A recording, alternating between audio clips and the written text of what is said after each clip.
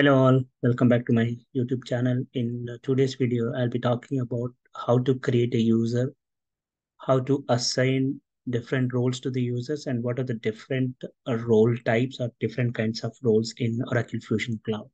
So first we'll start with uh, how to create a user. So let me log into Fusion.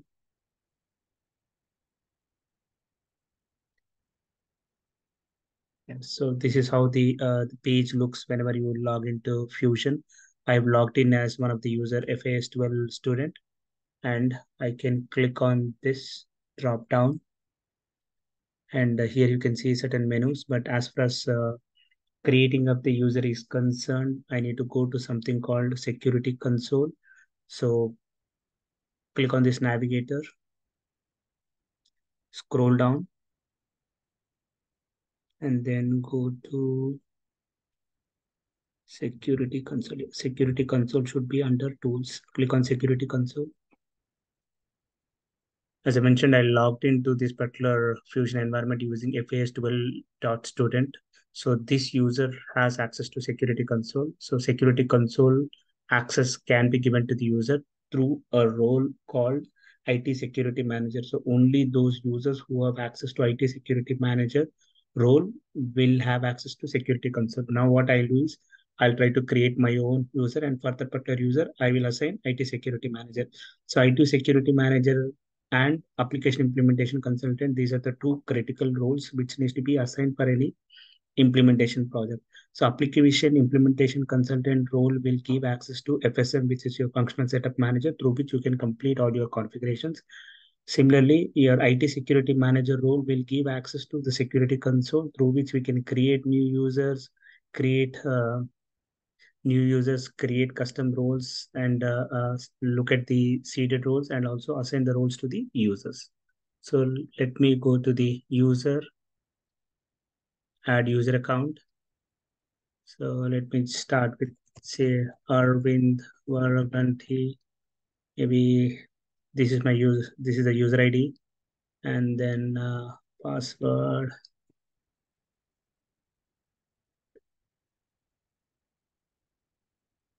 Okay. Save and close. So my user is created. So now let me search for my user.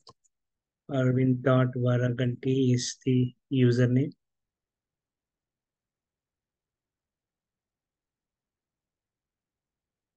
This is my first name last. This is my user ID. This is my first name last name. So when I entered my first name last name, system automatically suggested username as my first name dot last name.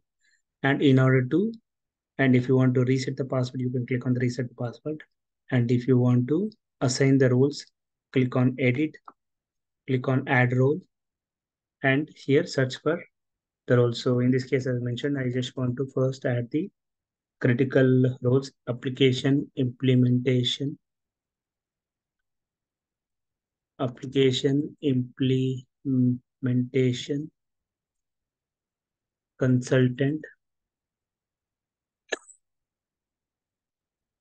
sorry. Uh, here you can see uh, application implementation consultant. Uh, ignore this uh, copied one, but uh, you have again with an implementation consultant, you have two job roles. You can select any one of them. It doesn't matter. So I'm selecting this one. First one, add role membership. So it's added. I can see here. And now let me add the IT security manager again within IT security manager I can see both with a different job uh, with a different uh, this is the name and this is the code so let me pick up any one of them and it is also required to assign your employee roles as well employee role is an abstract role now in a minute I'll explain you what are job roles and abstract roles so uh, employee role helps you in running uh, some of the reports and access certain self-service pages so let me add employee role as well. And done. And see, you can see the three roles, whatever I've added is appearing here. Application implementation consultant, IT security manager, and employee role. Now I can click on save and close. So as soon as the roles are assigned to the user, uh, it is required that we need to run a program or a job called retrieve latest LDAP uh, changes. So LDAP stands for Lightweight Directory Access Protocol. This is basically to sync the uh, roles assigned to the users. Generally, in a live environment, this is scheduled to run after every couple of hours, but this being a testing environment, we need to run it manually. So basically, this is actually syncing the data behind the scenes. So let me click on done and then go to navigator and scroll down to the tools section. Under tools, you should be able to see scheduled process. Yeah, this is the schedule process. So click on schedule processes and search for a job called retrieve latest schedule process, retrieve latest LDAP changes, retrieve latest LDAP changes. The good thing in Fusion is whenever you search for any job, it gives the description of the job. So it says this is a job which synchronizes users' roles and role grants within the def with definitions in LDAP. So click on OK. There are no parameters to be selected. Click on submit. Job process ID ending with 693 was submitted. So you can click on refresh here and check the status. It is ready and then it starts running. So you should wait until it's uh, succeeded. Generally, this program takes a while. I'm not sure like how much time does it takes in this test environment, but generally in a live environment, it takes a while. So once this particular program is completed, we can log in as my user, and then we, uh, as a user, I should be able to see all those uh, the the functionalities related to all those uh, three roles. Okay, so now let me go into different kinds of roles. So, okay, let me just okay. So basically, there are four different kinds of roles. So first, we'll start with job role. Job role represents the jobs that users performs in an organization. Example roles like general accountant, accounts payable manager, controller, financial analyst, warehouse manager, inventory manager, etc. These are all the different job roles. So Oracle has provided some seeded job roles. We can define our own custom job roles as well by copying the seeded job roles. Job roles can be assigned directly to the users.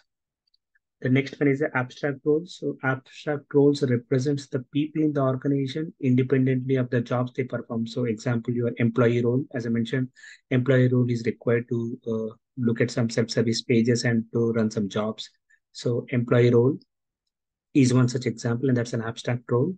And transactional business intelligence worker role is another example of an abstract role. We can define our own custom abstract roles as well. Uh, abstract roles can be these roles uh, abstract roles can be assigned directly to the user. So as we have seen i was able to assign employee role to my user.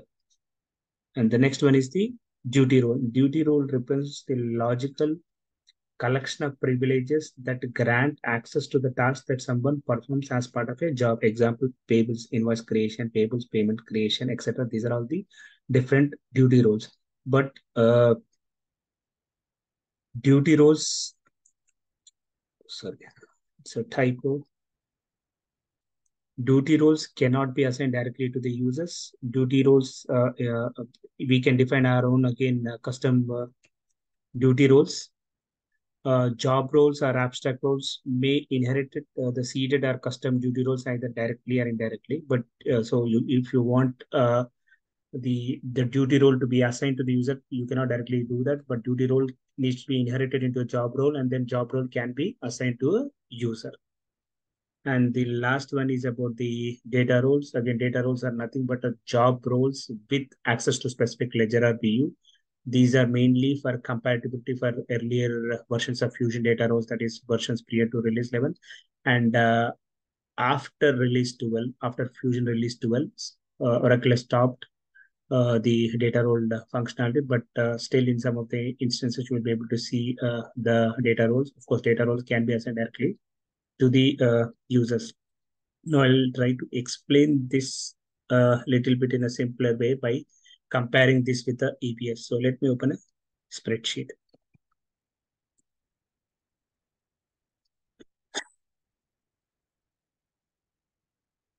So in EBS, we have a concept of responsibility. Within that responsibility, we have a menu.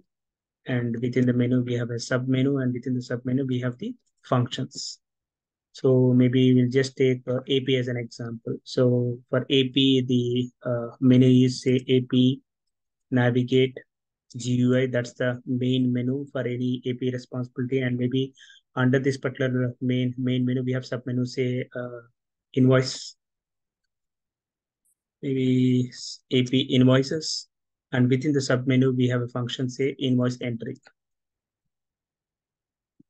invoice inquiry, invoice batch, and so on. So coming to the fusion, we do not have any concept of role. Uh, we do not have a concept of uh, responsibility. We have only roles. So job roles is kind of equivalent to menu but again, uh, in the case of EBS, we cannot uh, assign menus directly to the users. Uh, you need to assign only the responsibilities. But in Fusion, we can assign the job roles to the uh, users. And uh, we have duty role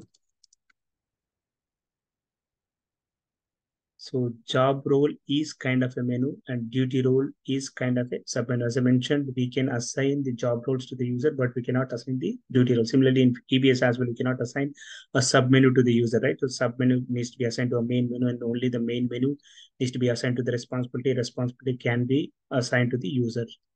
Uh, in Fusion, job roles can be assigned to the users. Duty roles cannot be assigned to the user. If you want a duty role to be assigned to the user, the only option is assign the duty role or inherit the duty role into a job role, then assign the job role to the user, but you cannot directly assign the duty role to the uh, users.